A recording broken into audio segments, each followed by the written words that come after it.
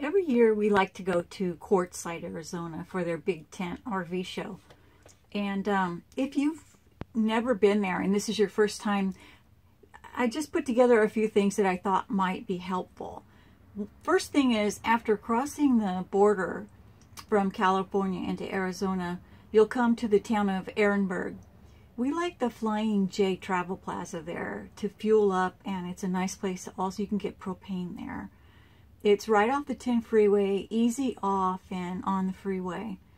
The next two fuel stops are in Quartzsite. I think they're maybe about 20 miles away. The Love's Travel Stop and the Pilot Travel Center. And all of these places can accommodate large RVs if that's a concern of yours. They do get busy though, so you're going to have to pack your patience on this. Um, also, if you need groceries, we usually go to the Roadrunner Market.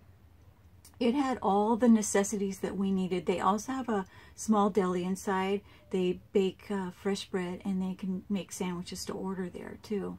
And they, the sandwiches were good. Um, also, if you're hungry, Quartzsite has some fast food places like McDonald's and Carl's Jr. Um, if you're interested in restaurants, we like Silly Al's Pizza you can eat there or uh, you can take out. And they have a small dance floor and some nights they have karaoke. And um, it's a popular place and it does get really busy especially uh, around the uh, big tent RV show. And uh, the atmosphere is fun though and the pizza's really good and the Heaven's Kitchen Barbecue.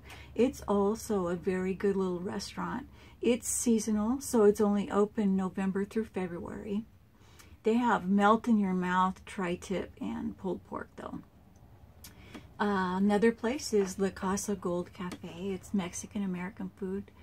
Um, it's a nice little, uh, quaint little cafe, and it serves breakfast and uh, lunch and dinner. We've only eaten breakfast there, and it was pretty good on the main street at Tyson Wells, where all the vendors are, there's a little outside place to eat called Lone Steer Cafe. We had their uh, barbecue chicken and ribs and thought they were really good. Uh, this place is usually there every year. And since they're temporary vendors, I don't have an exact street address. But like I said, their food truck faces, I think it's the main street there, uh, Kuehn Street and at Tyson Wells. That's K-U-E-H-N. So I'm going to put the addresses to all of these places down below so that you'll be able to find them. Uh, maybe put them in your GPS, but I hope you have a really good time. It's a very fun place to be this time of year.